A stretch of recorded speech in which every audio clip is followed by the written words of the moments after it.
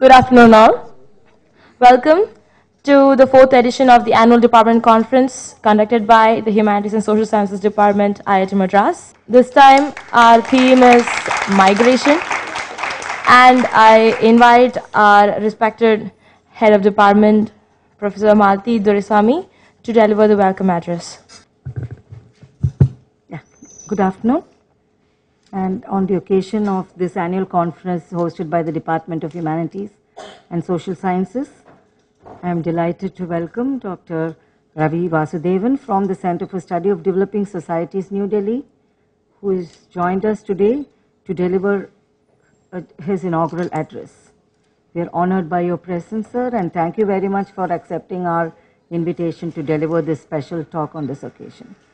I also take this opportunity to welcome our dignitaries present here. Um, we have with us Dr. Radha Hegde, who is an associate professor in Department of Media and Culture and Communication at New York University, and Professor Ira Bhaskar, Cinema Studies at School of Arts and Aesthetics, Jawaharlal Nehru University, New Delhi. Thank you also, both of you, for accepting our invitation, and thank you for joining us today. And we will also have other prominent uh, speakers joining us over the next couple of days.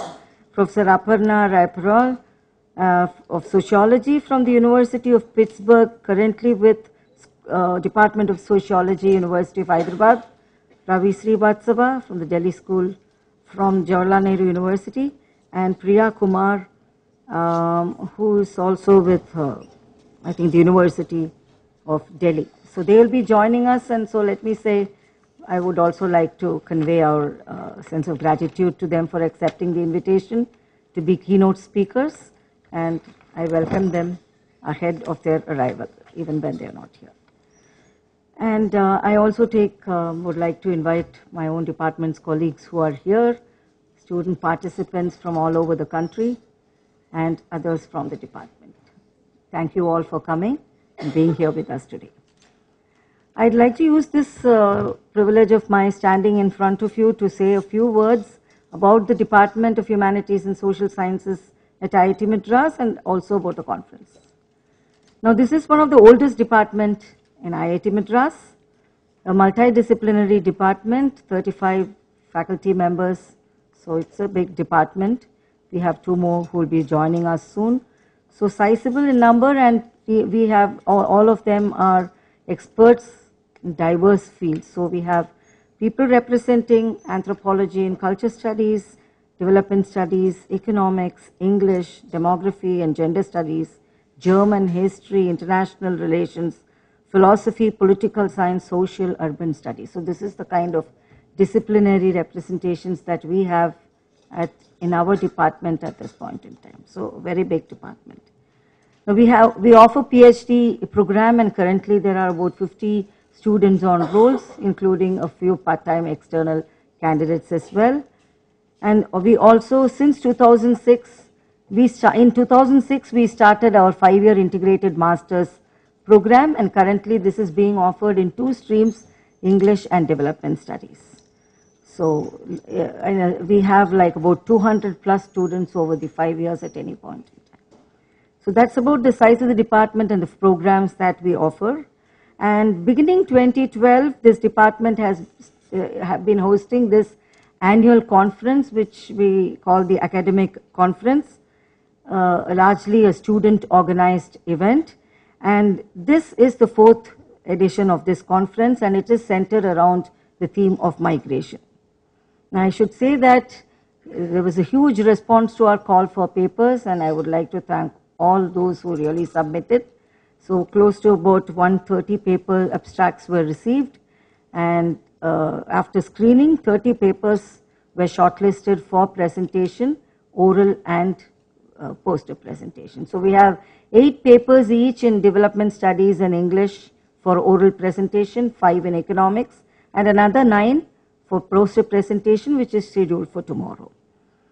Now, the, um, I would, uh, I, I think I should mention at this point my word of appreciation for this organizing team, the students, and they were also helped by able faculty members, faculty advisors. So together, they were able to uh, come up with the, the, the, the theme, the concept notes, identify speakers, and then shortlist papers. A whole lot of work, and they have done it so well. And I should convey my uh, sense of appreciation for all the work that this conference team has done. Thank you very much, all of you. Now, this conference will now be witness to four keynote speakers.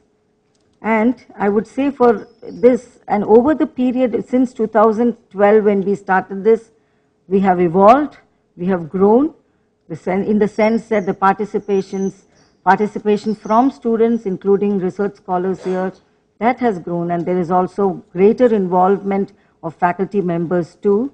So, in, in that sense, this has moved from the way we started to becoming a more rigorous a professional kind of a conference. So that is the way, and this time around, there are certain things that we have added. So there are add-ons are, for the first time we had a pre-conference lecture, and this was by the award-winning photojournalist and report MP Sainath. So he made, he gave a pre-conference lecture, and we also have now, as I said, uh, involvement from PhD scholars in a big way and to accommodate more papers because we had many, many responses coming in, we thought it's a good idea to also have poster presentations. So if all papers could not be accommodated, the selected ones for oral presentation, we thought we would uh, uh, make some uh, way for that. So that poster presentation has been introduced from this year on.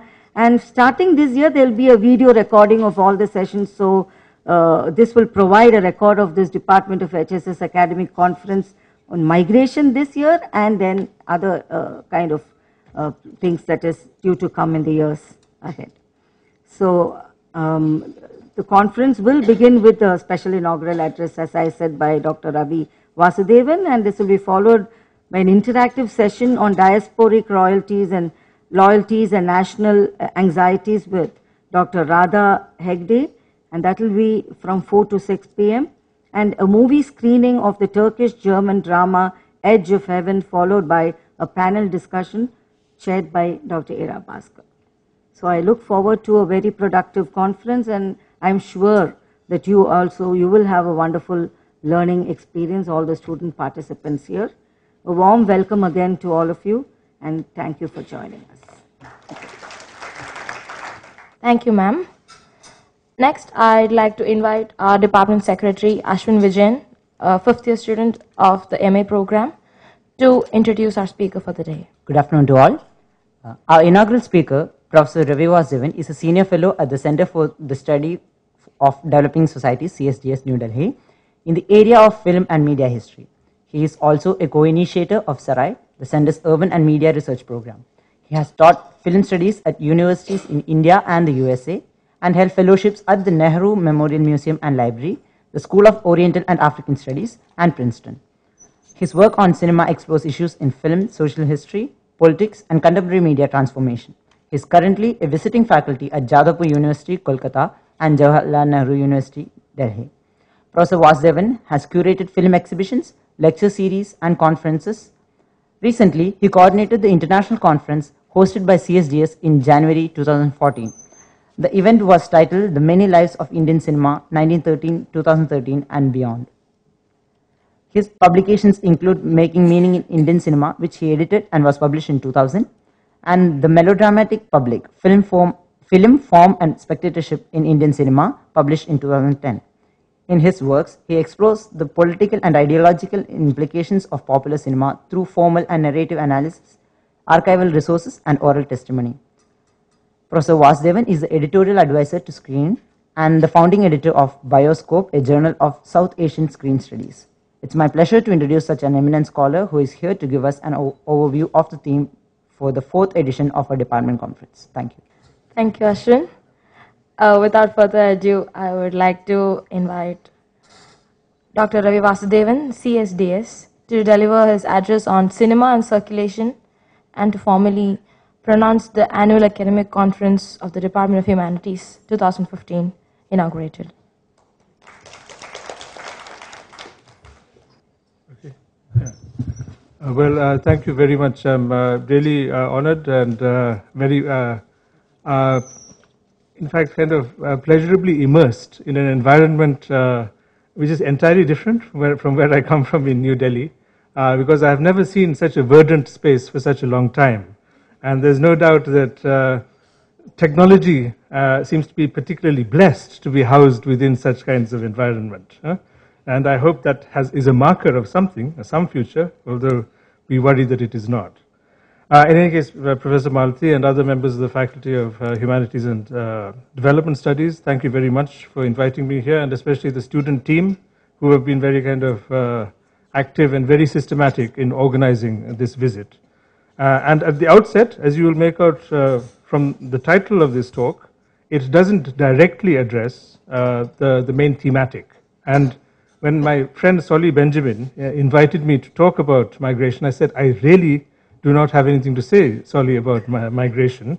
Nevertheless, I can actually uh, go sideways, sideways uh, step into another kind of uh, conceptual framework, uh, which may or may not uh, help us think about migration, which uh, suggests an idea that if migration often is construed to mean something which is going from one, a person going from one point to another point to settle him or herself in another location, circulation uh, is maybe a more complex kind of description of the ways in which we never actually find fully leave places and we have ties to them and we actually go back to them. Uh, so, and we do not, we are not uh, left unchanged by the process. Uh, for this talk, and because it's about cinema, it's, uh, the issue is for me not only about the movements of peoples, but it's also about the movement of objects and technologies. Uh, the cinema itself becoming a, a, vehicle, if you want. It is, it is an object, it is a technology, it's a body of equipment which is taken from place to place. Uh, it is also a vehicle of imaginary movement. That is, when we go to the cinema, we are actually transported. Uh, we may be sitting stably in one location, but we are actually carried huh, from one space to, to, to another, and we circulate within the space created by the cinema for us. Uh, so there's an imaginary circulation which cinema as a form facilitates, and it does it perhaps with a sense of uh, uh, in, uh, visual and auditory engagement, uh, which other media do, do not. Uh, arguably, literature also transports us, and other such narrative forms also transport us and enable our circulation and movement in this fashion. Uh, so that is kind of a frame, a frame to think about, about circulation of peoples, technologies, objects, and how they actually undergo transformation huh, in the process of doing this. Now, Solly made a se- uh, second uh, suggestion. He said I should be able to talk in a way which would address both development studies students and English studies students. So now that's an extra challenge. uh, as, as it happens, I will have to take you back as a historian uh, into a longer kind of uh, patterning of this question of circulation and how the cinema as a technology was deployed in developing this imaginary. Uh, so I'm afraid there's not going to be kind of entertainment cinema on display by and large in this presentation. It will be uh, what is now increasingly being called useful cinema. Uh, it's a cinema of the type which uh, it can be boring for a spectator who is not invested in it, uh, but it's to do with instruction, uh, in, in, the introduction of information, for example, about new technologies, huh? about how you can improve uh, introducing new implements, for example, in agriculture, uh, how you, uh, what type of precautions you need to take in order to actually kind of build, build a healthy and sanitary environment. These are very much the, the things, the, the, the matrix of you know, uh, policies to transform uh, populations in line with certain modern protocols and ways of actually preserving and reproducing a population. Uh, and they may be about new tasks, new forms of employment, new techniques uh, which, which are made available. Uh, this is actually a sphere which becomes extremely important, if you want, in developmental discourse, very critically founded around the logics of development, which has a long history going back into the, certainly with a self consciousness, into the post First World War era, huh? uh, where under colonial governance, when there was a definite uh, uh, uh, attempt to ward off the agitational politics of nationalism, which had now found increasing kind of presence in the countryside, in the mobilization of peasant populations, starting especially from the non cooperation movement, going on through civil disobedience, and so on. So there's this, the way in uh, which this was to be framed was to actually kind of contend with this growing command that nationalist politics had over peasant populations by, by uh, publicizing and propagating the fact that developmental uh, transformations, which were making the lives of people better, were taking, was taking place. So publicity is key here. Uh, communication and publicity of a developmental policy becomes a kind of key framework within which cinema and, and, and related and precursor uh, media technologies were deployed. This would include things like the slideshow, the magic lantern, uh, which is actually a fabulous uh, contraption using sound and light uh, and actually kind of uh, organ, uh, pushed by petroleum fumes. It actually is quite an extraordinary immersive space as well and was used considerably from the late 19th century onwards. But it's from the uh, post First World War that there was a bid to actually build uh, a cinematic uh, uh, uh, policy around developmental discourse. So this becomes a, a key kind of context with, which I'd like to talk about, say about 20 years of this period.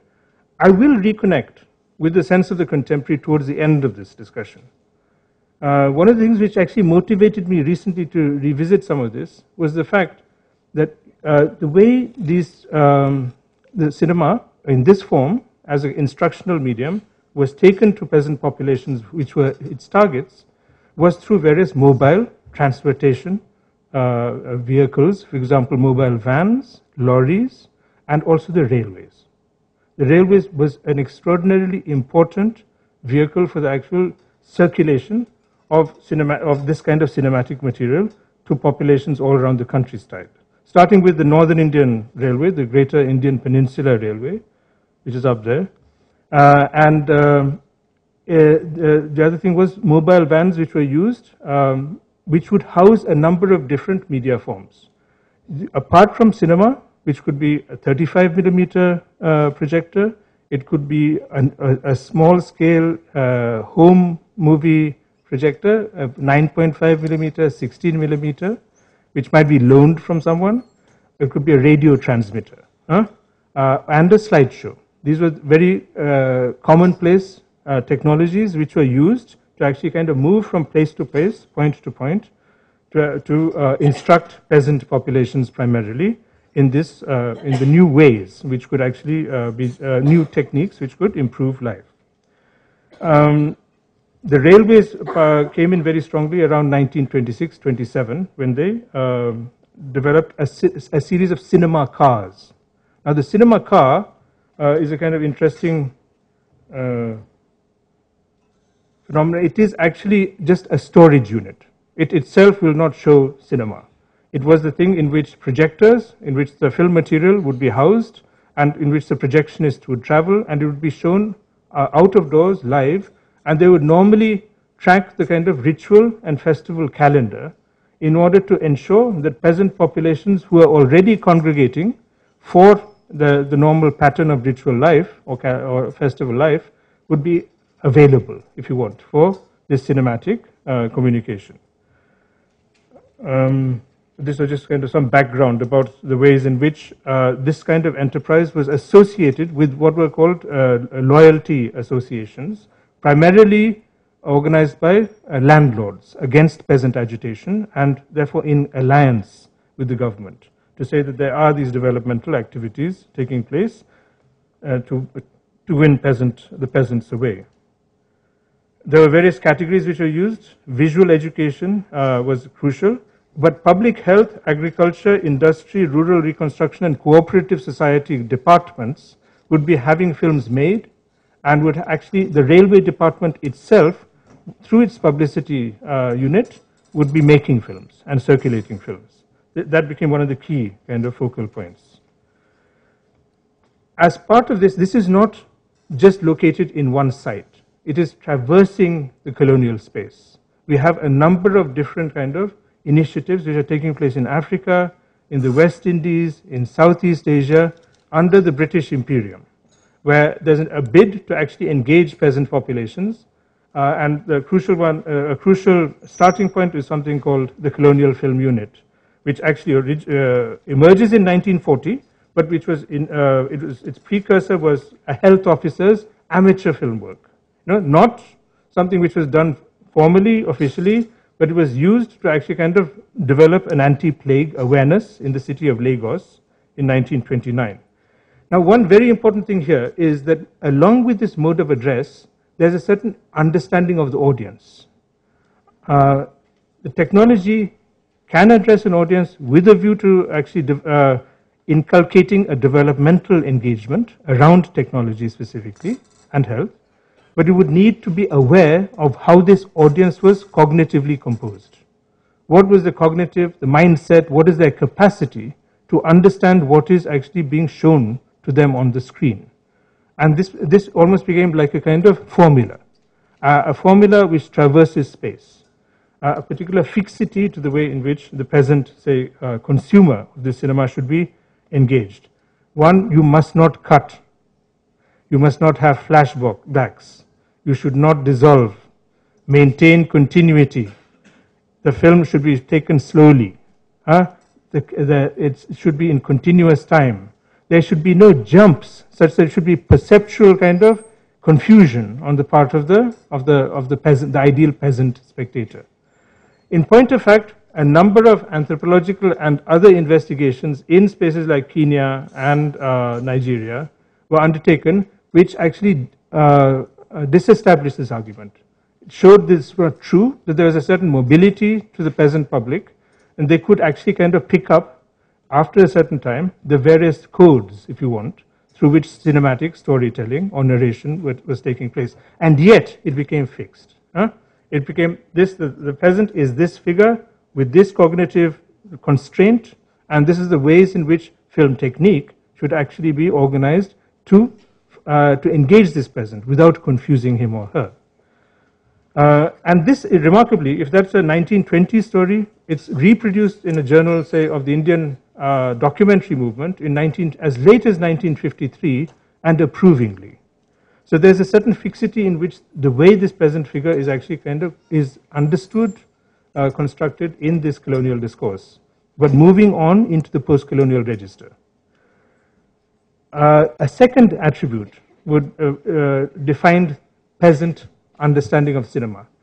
They were not happy to see uh, events, uh, environments, landscapes, uh, agricultural practices, even the types of costumes, everyday clothes, which were unfamiliar to them.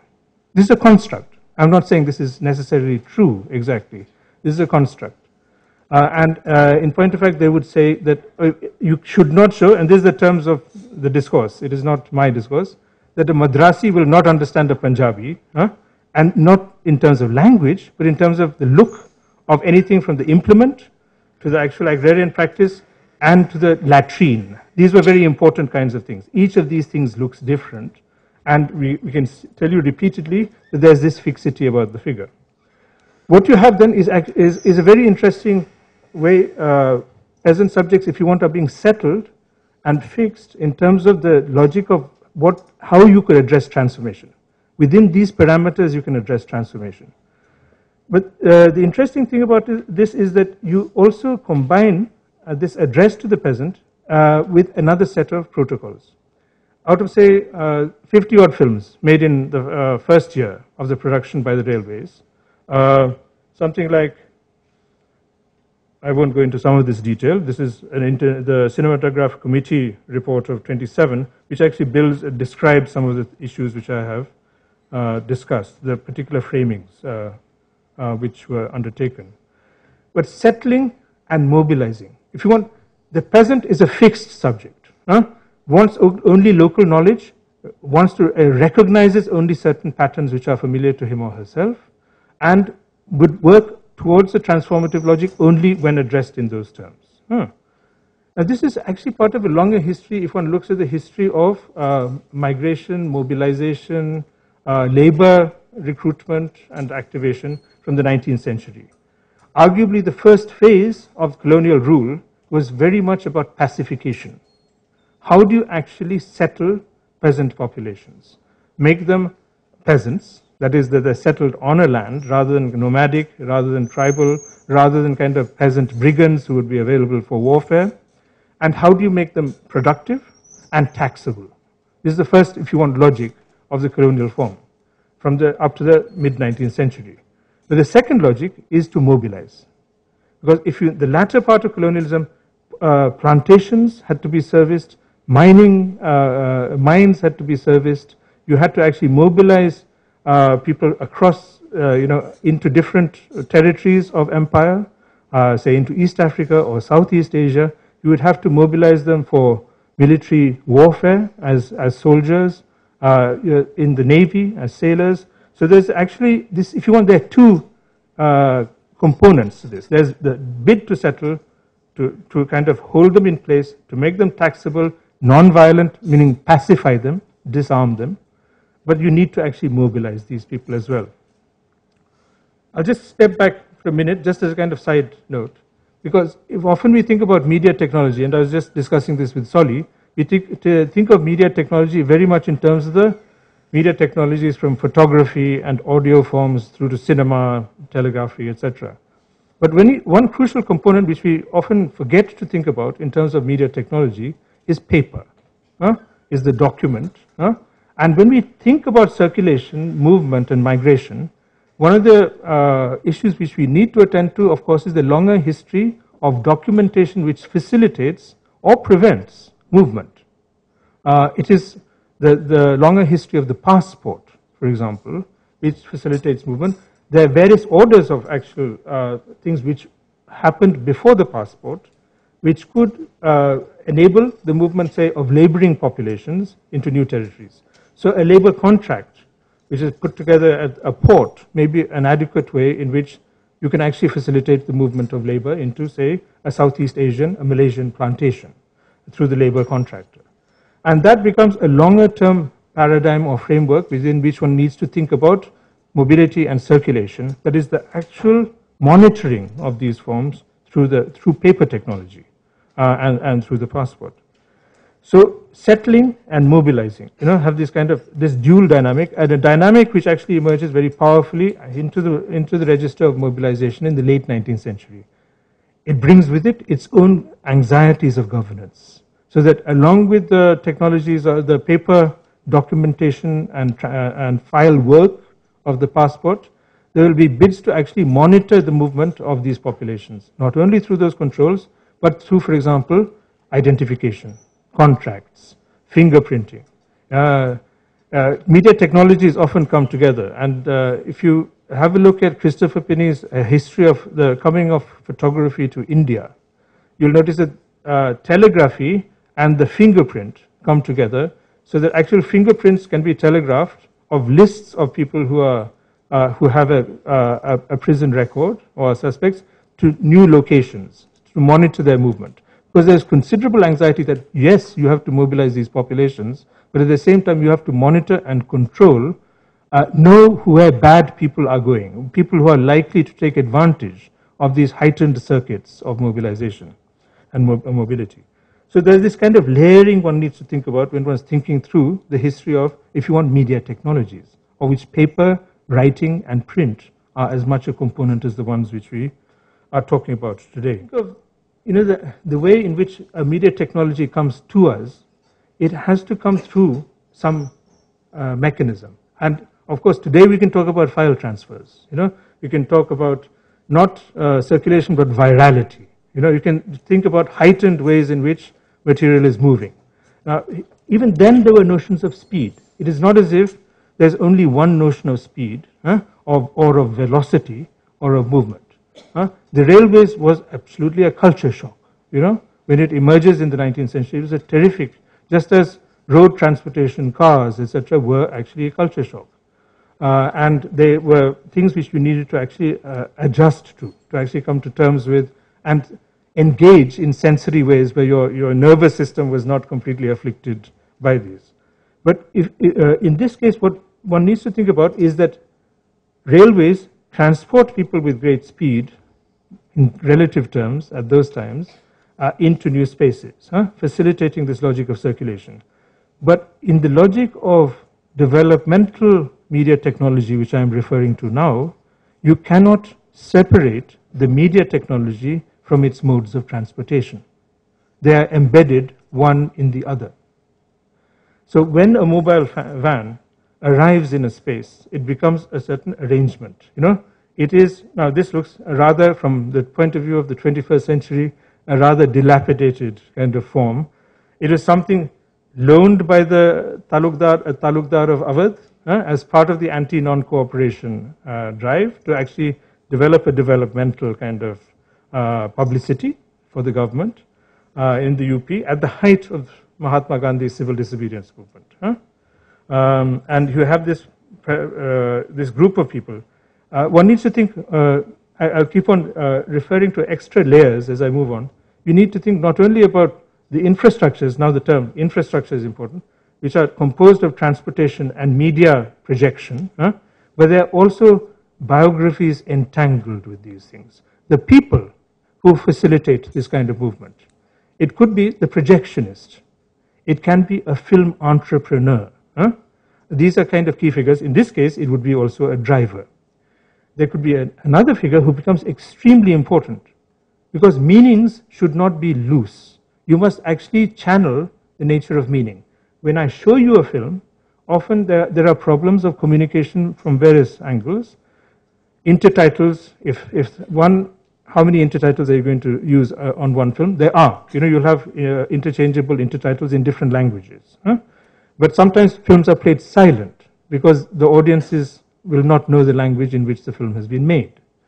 Uh, so then critical figure. If you say that the projectionist and the, you know, the driver is, is an important figure, uh, the, the, institutional infrastructure and uh, talukdar of Awadh, that is a landlord, uh, is also part of the institutional infrastructure. A lecturer becomes absolutely key. Now, a lecturer will also possibly have the logic of the microphone. We're thinking of a multimedia form within which this kind of communication relay to peasant populations is, is taking place. Huh? Uh, the radio transmitter, of course, depending on whether there's actual connectivity in the area. Uh, so the lecturer becomes the figure who will try and hold meanings in place, say what these images mean, huh? communicate perhaps uh, health policies. It could be the agricultural officer, a district public officer, publicity officer, a health officer. Huh? We don't know, you know, a lot of this when we're looking at the archive for this material, we're looking at it in terms of how uh, government and levels of government present the effects of this thing. We don't know that that is necessarily how audiences receive this, and I will suggest a way we can think about that. But if we um, move into the wider historiography of uh, developmental cinema in this colonial period, uh, the work of James Burns on uh, South, South Africa, specifically Zimbabwe, modern day Zimbabwe, uh, has shown that the, the interpreter or the translator for these works might often uh, not adequately communicate what was being said.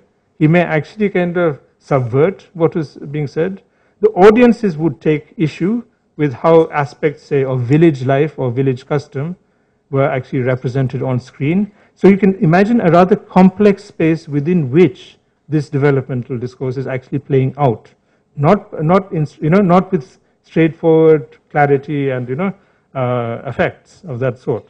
So there's a complex thing there where we need to think about the apparatus as a complex layer between an infrastructures of transportation, media technology and projection, but also the deployment of human capital, if you want, huh, in order to make all of this work, and the interruptions, you know, the way this can be disrupted entirely and not fulfill uh, the, the uh, objectives of, of, of, policy.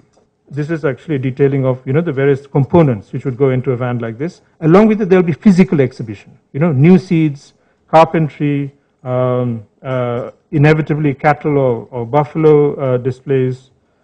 Um, but let me come to this key area which I would like to just reflect on for a while. This thing between transportation and media technology and projection, that relationship becomes actually something to think through.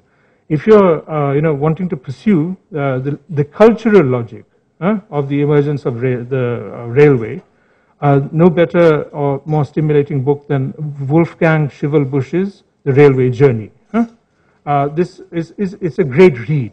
It's really about how exactly notions of time and space are completely transformed by the nature of the kind of speed through which railway transportation carries people. But it's also about other very interesting things. If we think about circulation and the ways in which uh, travel alters the nature of human perception and, and social engagement, the railway compartment also becomes a very important space.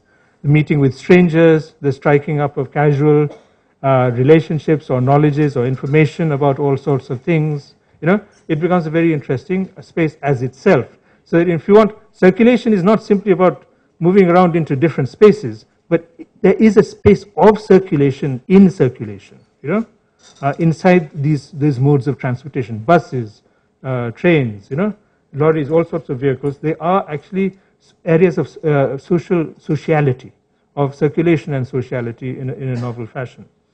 But I wanted to come back to this particular uh, question about um, the types of film. One of the issues is the types of film.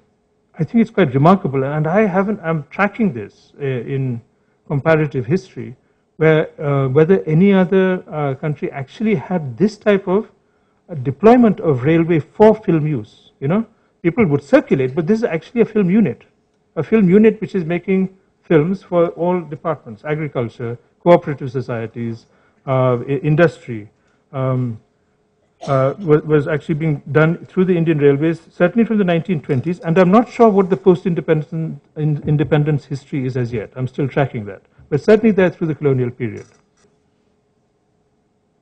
Composition of the film program, of the types of films they were making. So you'll notice in one year, 1928, out of 48 films, 23 films, in fact 33 films, I would say 33 films, have nothing to do with the ostensible objects of development.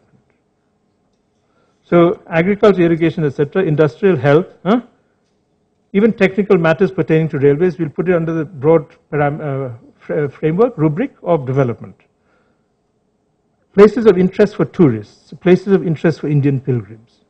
Now these are two very important things. They're almost half of the production. Now so they're already unsettling the idea of what this kind of cinema, uh, developmental, so-called developmental cinema was meant to do. To settle, but to mobilize, huh? to travel. Now, in fact, one of the arguments that the chief publicity officer of the railways of 1928 says, makes, is that uh, what we want to do is that peasants, through the, uh, uh the communication of new technologies and infrastructures, will be actually surplus generating populations. Huh? That surplus will feed back into the, into the, uh, into the market, into consumption, and into travel. So there is this particular doubling of address to settle, to mobilize. And mobilize means to make travel, but to open new vistas through travel. A more conventional framework, one which you would, through which you would elicit a certain traditional public, is the idea of the pilgrimage, no? and new pilgrimage sites. But travel is much more open. It's across the country. It's opening new kind of vistas, new spaces in which to go to. So we have between the figure who is actually meant to be to, to uh, improve his or her life is the figure who through improvement of his or her own life will generate surpluses which will actually make them consumers, travelers and expand the terms of the economy and of the railways itself. So this I think is quite suggestive, this movement, this doubling and it is actually uh, this is, these are images of the which blueprints of the railway cinema car, which are available in the government archives, which the Sarai Media Research Group has collected. They're basically storage units. Huh? Um, but this thing they were consuming, if I've said travel or pilgrimage, complicates the actual kind of imaginary space which these uh, consumer, these spectators were drawn into. Then there are other logics. One is that of the bazaar train. Now, another very important and I think useful book from the point of view of development and media technology is Brian Larkin's book called Signal and Noise, huh? which is about media technologies and their histories in Nigeria, going from the colonial period into the contemporary period and mapping this extraordinary phenomenon of the Nigerian uh, video film industry, which is a very powerful uh, dimension of the world film economy in some sense now. Uh, but Larkin points, suggests that a lot of these kind of instructional works for colonial populations had nothing to do with the market. They were to actually constitute the peasant uh, as a kind of consumer of modern technology and as a citizen, as a, as a citizen in process who would be alert to the logics of public health and sanitation, that is a public good in some fashion. But if you look at something like the, the bazaar train in the Indian context, you're actually combining forms. In the bazaar train is housed a cinema car. In the bazaar train are housed shops. Now the shops will, can attend directly to the agrarian economy. Say they may be retailing fertilizer, huh? but there would be uh, uh, watch shops, uh, there would be other, um, uh, there would be uh, radios. Uh, the number of different items now came into display through the bazaar train, which is also housing a cinema car. So we actually have not something which is governed by a one-to-one -one relationship between state and the uh, peasant consumer subject, huh, which is related to a developmental discourse of improvement, but also drawing that subject into a consumption logic the bazaar is an expanded market imaginary through the train. So commodity logics and if you want instructional logics, the logics of pedagogy about how to actually kind of improve your life and, and be a good uh, citizen or a good public are combined in this fashion. Through a kind of array of different elements of the population, including peasant publics, clearly middle class figures, huh? uh, down the way uh, uh there's a watch shop, there's farm, where is pharmaceutical, there's a watch shop if you look down in the thing. Watches were very important during this period. Time and uh, the railway as a kind of vehicle of time huh? And the railway uh, um, uh, calendar and the railway timetable were very important. But watches also were extremely important certainly from the first world war.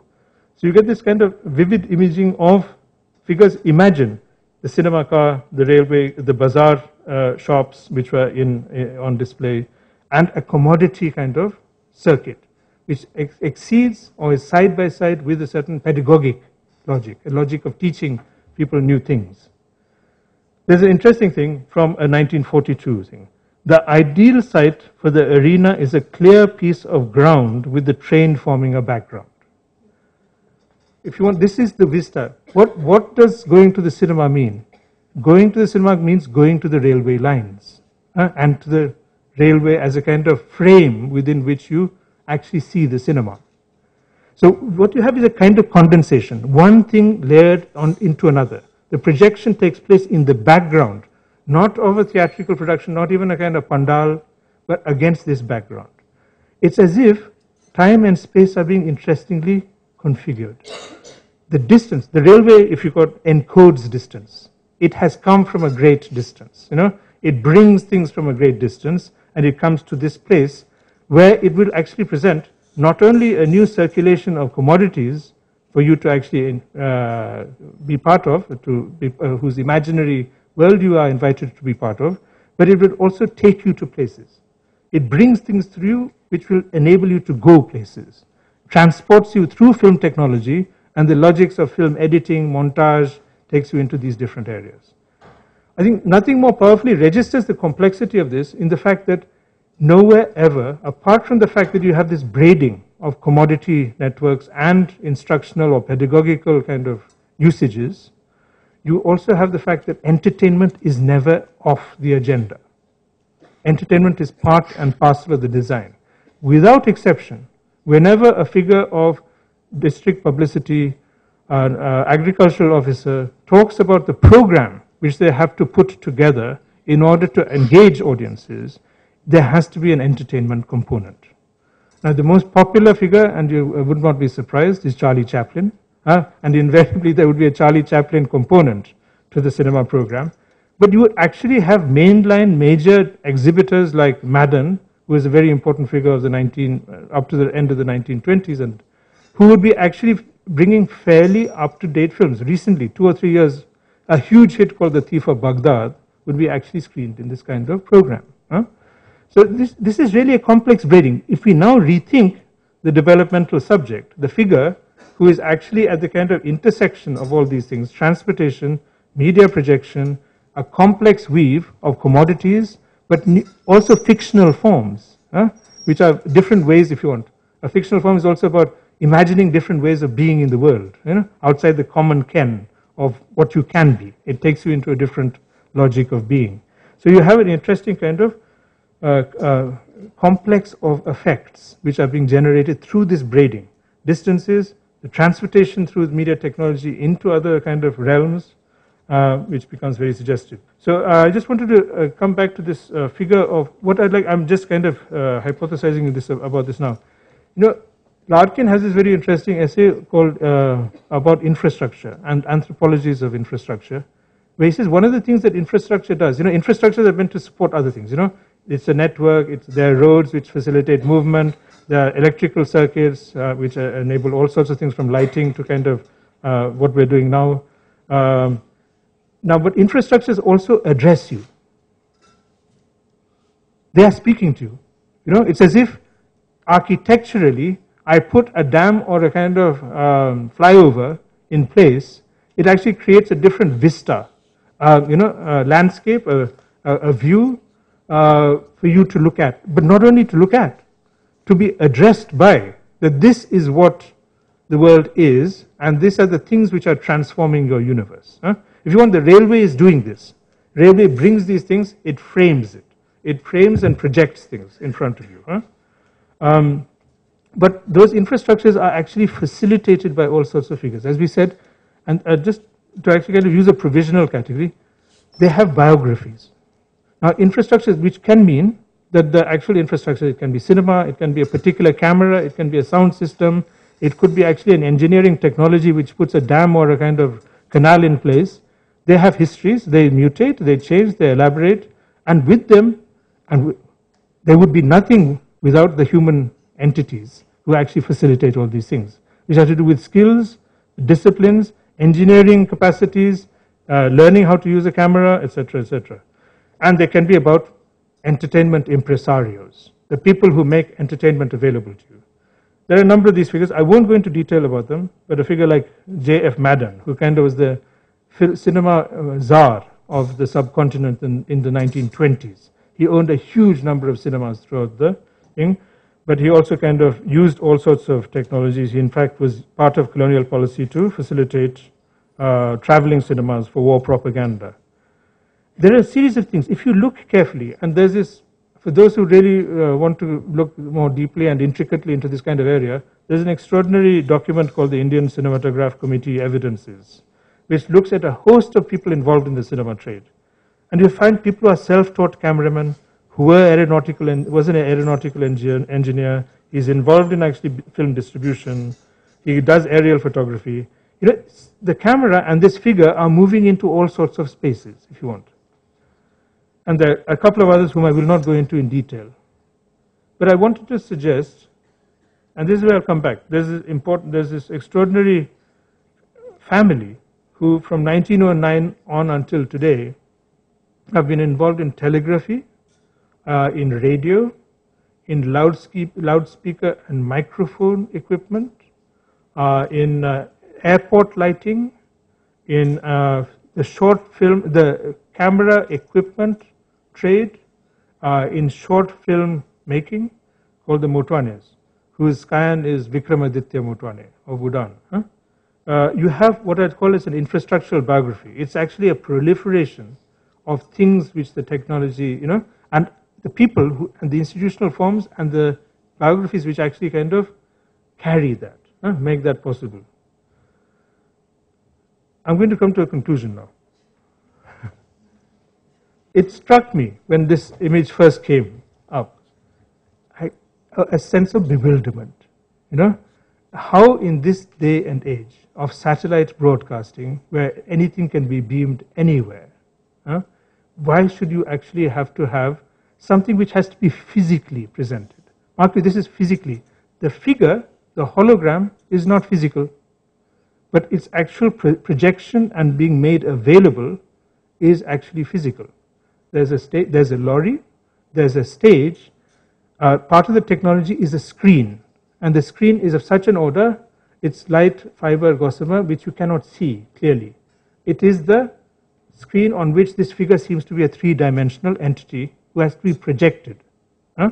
So there has to be a projector, there is a screen, there is a mobile transportational technology which brings this figure into view. Huh?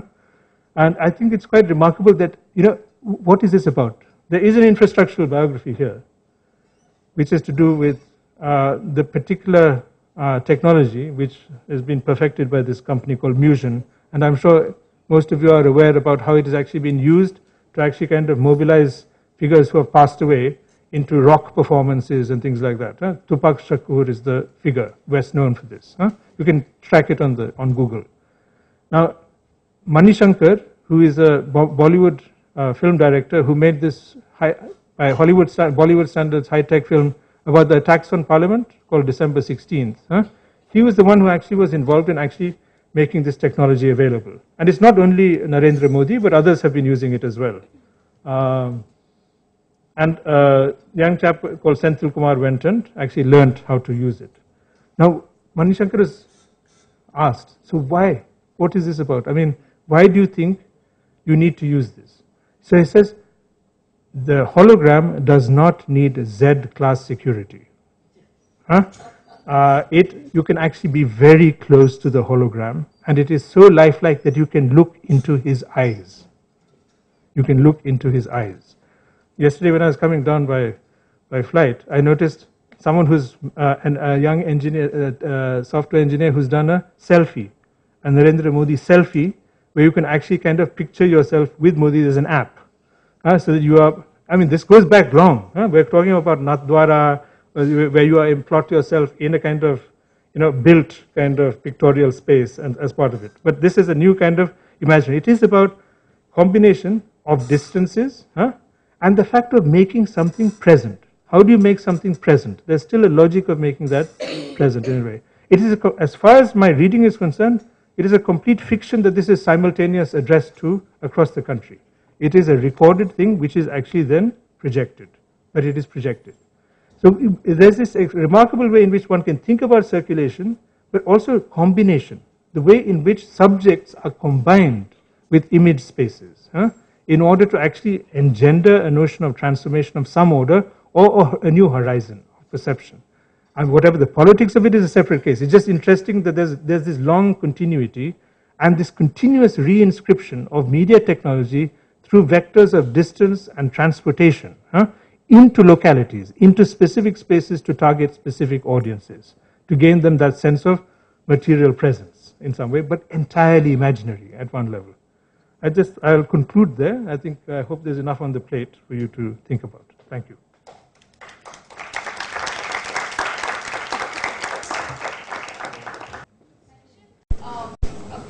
Use the use of paper as a media technology and how that kind of prevents or sometimes enables mobility. Um I was also thinking especially with reference to this uh the following. The body is a kind of uh, object of inscription, just as say that paper may be written on, but you can write on the body. Huh? And that's part of the longer history also of, I mean, it's uh, from, uh, of actually kind of marking figures or branding figures. There's a longer history to do with incarceration, uh, which is there in the 19th century, which the colonial, I mean, the one logic is that colonial government tried to supplant this by this new, uh, a new sense of incarceration, and so that it's not, you're not marked on the body, but in the mind and through discipline. You know, the Foucauldian kind of logic of discipline and punish. Uh, but that certainly is one dimension you can refer to. The other thing I think is this new uh, research onto uh, you know sensory engagement. You know how the body itself is is continuous in some way with the actual kind of technological field, and this may be to do with. Uh, uh, there's been this remarkable work on uh, this person who recently visited JNU uh, Jonathan Sterne. Huh? This is called the audible past. Uh, and there Sterne is actually uh, looked at the history of say telephony huh? and the ways in which say uh, there was a way of actually kind of uh, researching the field of uh, audibility. it's called psychoacoustics which emerges in the late 19th century to see what level of, hear, of hearing, what, what levels of sound you could hear and how you could do away with certain levels of sound in order to facilitate actual kind of telephone communication or greater levels and lines of telephone communication. So this thing about uh, investigating the body, huh, as much as investigating technology, they run tandem, huh, they go together. Uh, they're not separate, the one thing affecting the other. Media technology affects us. No, the actual research is actually to say what is the, is, are these various sensory capacities able to do, you know. I'm not familiar adequately of the range of things which must be part and parcel of say computer things, but obviously the whole ways in which uh, the way our touch is now actually connecting us in an entirely different way to actual travel. So you can actually track, as we know, revenues are actually orchestrated through this, no? Uh, mapping the kind of range of things we access. So the keypad and all that becomes, a, a touchpad becomes part, if you want, of a wider economy and technology in which the human body is actually uh, uh, linked, uh, sensorially linked, know, in some key way. There's a lot on neurology now. Actually, the way in the way the neurological system actually uh, relates to uh, sound, to sound and to sight. Actually, levels of perception. One of the concerns of say the colonial film uh, ideologues whom I was referring to, they said that you know these African audiences whom we have been looking at, they will say interesting things like, for example, if you have a vertical pan, a vertical pan up say a building, they say the building is sinking, huh? or suddenly they'll they'll describe they'll, they'll be asked to describe a particular scene, and they say there was a chicken which scuttled off the screen on, in that shot, uh, which was never seen or noticed by the person who made the film, but it's there. Now, in fact, that's actually quite interesting. It's to do with, in fact, how you, you know, perception has to be organized and you have to be centered. So there's a question of technique, as we know, perspective becomes historically very important. But what's happening there is the two things going together. And the 19th century is really about also research into the human body and how to actually link technologies to or adapt technologies to this the different registers of perception. In fact, he uses the term perceptual capital huh? and the ways in which you can the perceptual techniques huh? uh, which can become perceptual capital. You know? So it's the capacities but which can actually be used say by telephone companies. How, many, how much we can shave off that amount of sound because you don't only need to listen to that amount of sound in order to, to actually communicate. It's the same thing with MP3. No? So Sterne has done another book on the MP3 file and how exactly it condenses sound, compresses sound, but adequately in order for it to be heard, but you don't have to move so many registers of sound into it.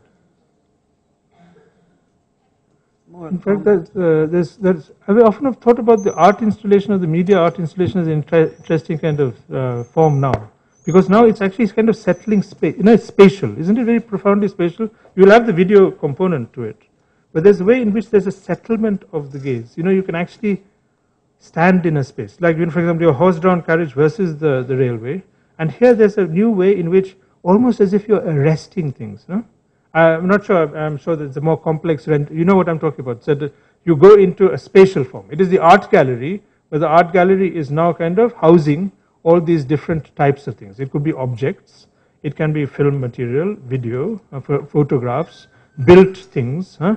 And you're actually given time to which, in which to, and to wait, to review, it's a loop, so you can go back to something. It's interesting that there's a, you know, sometimes the avant-garde is maybe wanting to slow things down. You know, it's like, for example, you often think that uh, avant-garde meaning people who are actually, uh, the artists who are kind of capture a sense of a kind of forward rush of technology and the sensoria which it very much an early 20th century thing. It can be that now in the contemporary, maybe there's a reverse thing that you said no, you know, speed has to be. I asked, uh, I remember one uh, uh, uh, such artist. I said, so I showed him some of this stuff. So I, he, I said, what would you do with it? Because you're not going to research it. I have to do the boring stuff of making sense of these kind of rather tedious things. I would slow it. I would slow it so it actually breaks down and I can see kind of elements in the way in which this thing has been put together. So there's this way of, you know, a particular deconstructive kind of logic you are looking at it in that. Um, so there's something, this interplay may be going in interesting cycles there. No, I, I, think you're absolutely right. There has been this very, uh, I mean, it's a long uh, history. I suppose we have felt it much more in the contemporary period when heightened kind of patterns of movement and globalization have, have appeared.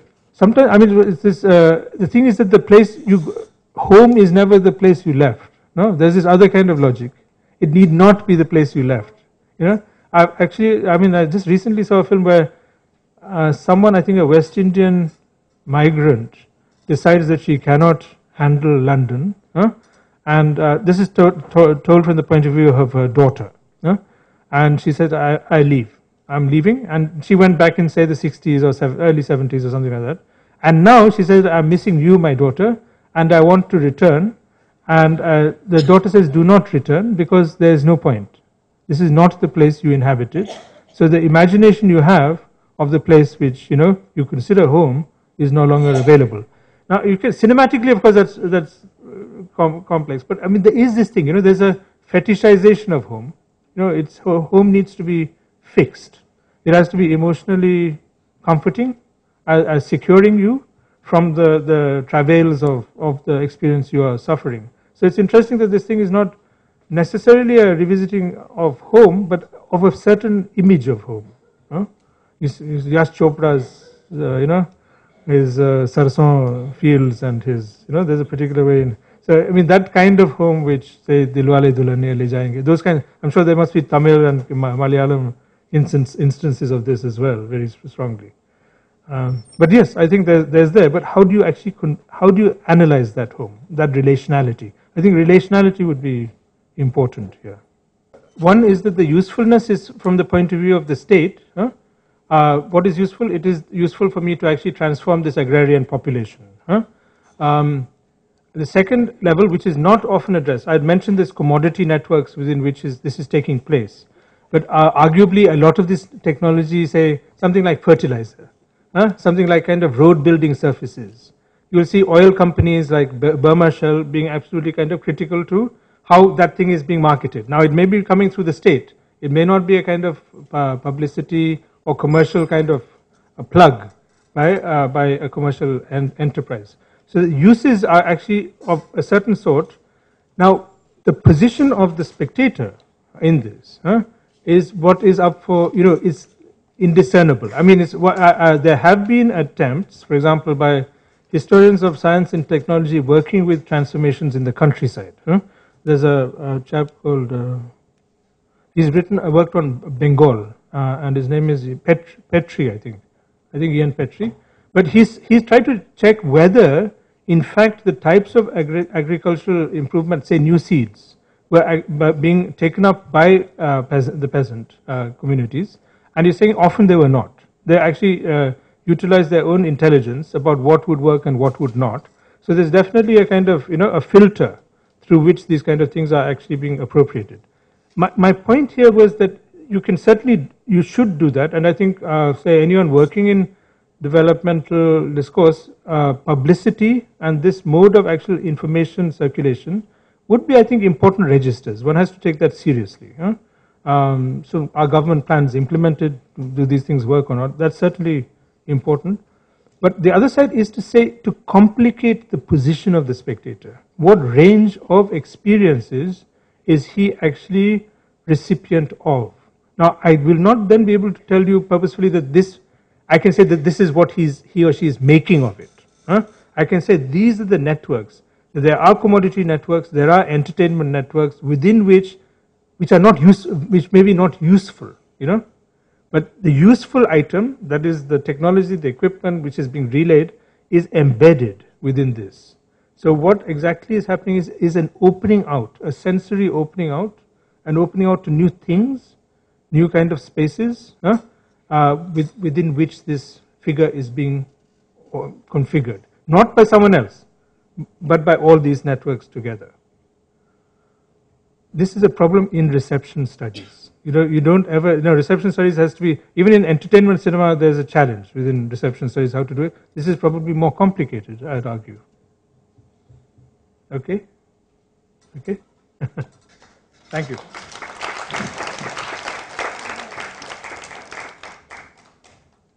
I just remove this. Huh? I just remove the. Thank you, sir. Um, as a token of our gratitude, I'd like to invite our Professor Solomon Benjamin to present our speaker, Dr. Ravi Vasudevan, with a memento. Oh, okay. Thank you very, very much. Thank you very much. The photo. So we'll do the again, again I'm presenting him. okay. Thank you. Thank you. We will uh, now come to an end of our inaugural session. I call upon Dilip to propose a word of thanks. Uh, good evening, everyone. Uh, it's my privilege to have been uh, asked to propose a vote of thanks on this momentous occasion. Uh, to begin with, I would like to thank uh, Mr. Ravi Vasudevan for being with us and inaugurating the conference by taking his time out amidst his busy schedule. He has given us great insights into cinema and circulation. I would then like to thank Professor uh, Radha Hegde and uh, Professor Ira Bhaskar for joining us today. I must mention our deep sense of appreciation for our head of department, Professor Malati, who has always been very supportive to us and for, and for providing very valuable contributions in making this conference a reality. I would then like to extend my thanks to all the faculty and staff attending the conference. Uh, finally, I would like to extend our, extend our gratitude uh, to the participants and learned guests participating in the event. Thank you.